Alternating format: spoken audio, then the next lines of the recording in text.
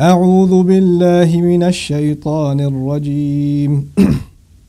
يا أيها الذين آمنوا لا ترفعوا أصواتكم فوق صوت النبي ولا تجهروا له بالقول كجهر, كجهر بعضكم لبعض أن تحبط أعمالكم وأنتم لا تشعرون.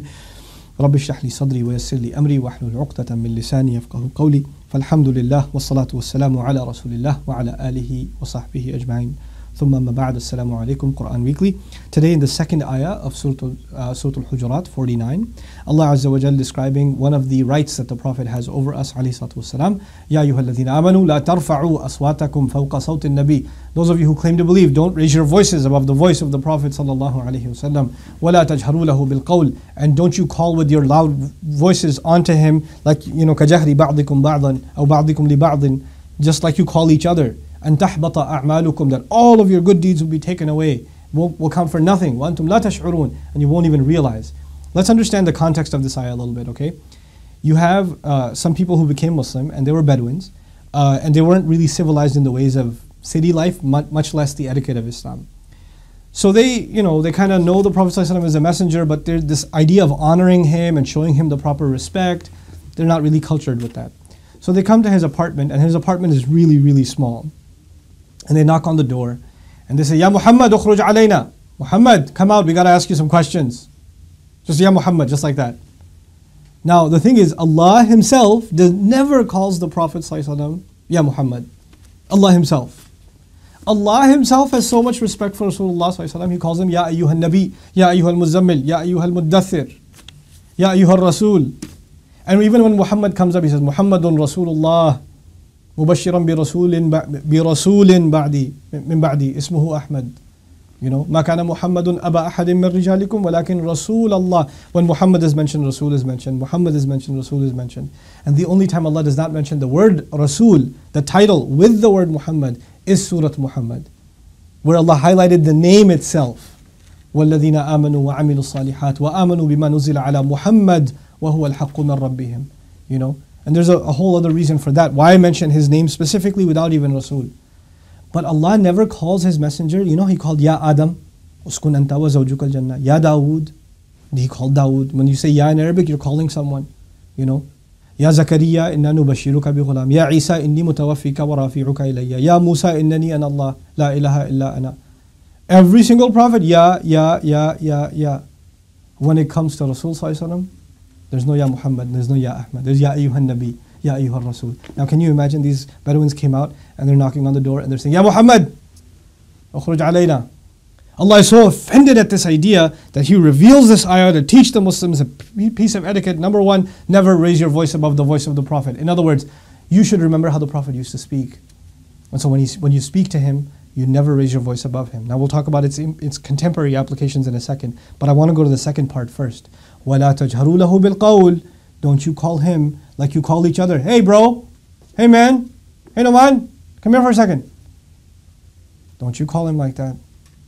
Because if you do, أَن تَحْبَطَ all of your good deeds are seized, they're taken away, they're multiplied by zero. I don't care if you were at Badr, I don't care if you were at Uhud, I don't care if you're the, the one of the best Sahaba ever. It, none of that matters. All of your sacrifices don't matter. These are Sahaba being talked about. If you raise your voice at the Prophet and you call him like you call anybody else, none of your good deeds count. And you won't even realize it. You can make Hajj all you want.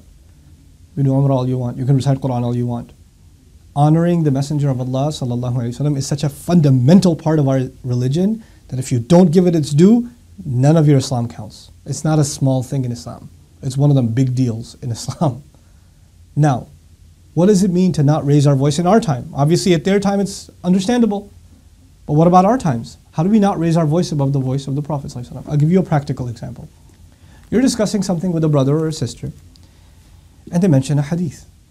Now, maybe this person isn't qualified to be quoting the hadith, but they do. They say Bukhari says this, and that there's a hadith in Bukhari, there's a hadith in Muslim, there's a hadith in the Ibn Majah or you know Abu Dawood or some book of hadith. They quote something from the Prophet. Now, maybe you and he are both college students, and you're both not qualified to be really discussing the authenticity of a hadith. You're not muhaddithin. But since you even heard there's a remote possibility that what this guy is saying is actually from the Prophet and even if it's using, he's using it in an incorrect context, he's misusing the hadith, until you know better, lower your opinion and say, I can't say anything, you just said a hadith. You're right. Just gonna, I'm gonna look it up further, but until then, I'm not gonna say anything. I'm just gonna back off. In other words, you don't get into a spitting match about, oh yeah, this hadith? Well, what about that hadith? You know what, this hadith? What about that hadith? No, no, no, no, no, no, no. It's not a contest. You let it go. Just out of regard of the Messenger sallallahu alaihi wasallam. Just let it go. Don't, don't say anything, you know? I was praying one time and, uh, you know, a certain way, and a brother next to me was really angry when I was praying. And when we finished, when I finished praying, he said, I said, Salaam alaikum. He goes, You're not supposed to say salam after salat. It's against the sunnah. And I was like, Okay, sorry. And he says, You prayed incorrectly. Your hands were in the wrong place. They were supposed to be over here because there's a hadith. Now I've studied that hadith and I know what it means, but I, you know what I told him? You're right. I'm sorry.